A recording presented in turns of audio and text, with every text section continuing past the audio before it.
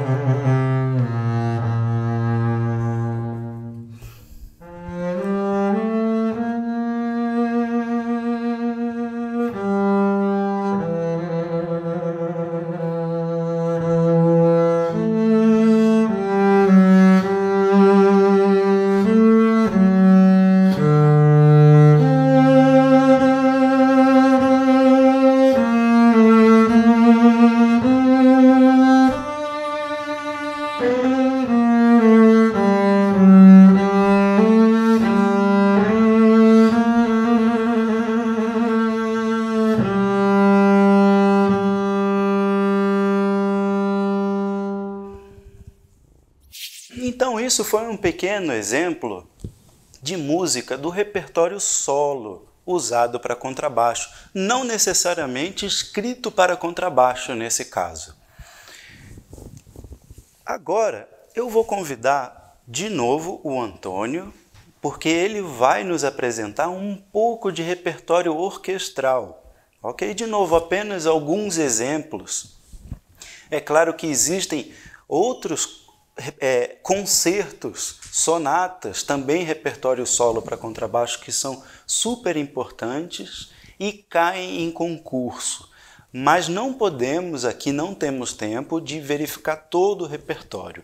Então temos aqui apenas dois exemplos iniciais que vocês podem a partir daí entender e começar a tocar, experimentar esse repertório também no, na casa de vocês, com o instrumento de vocês. Hoje em dia, com a internet, é sempre muito fácil de encontrar todo tipo de repertório.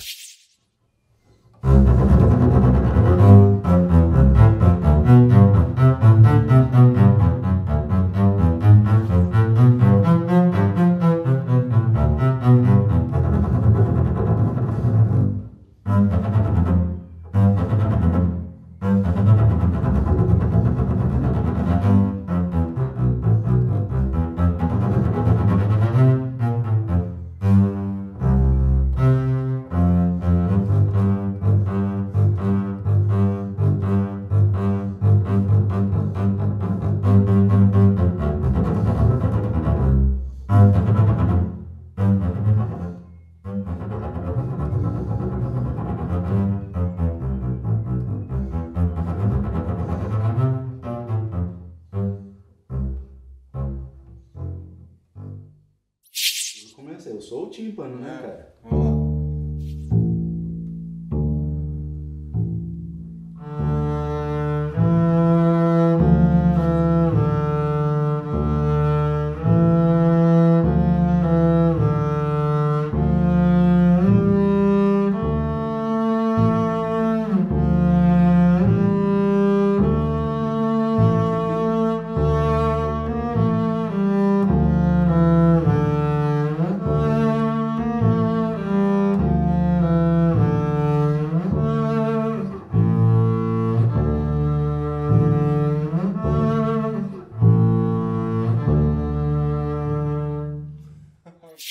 Então, pessoal, hoje terminamos aqui nosso curso de seis aulas. Com essa sexta aula, um pouco de repertório e terminamos com essa pequena brincadeira que fizemos um duo de contrabaixo com um contrabaixo só.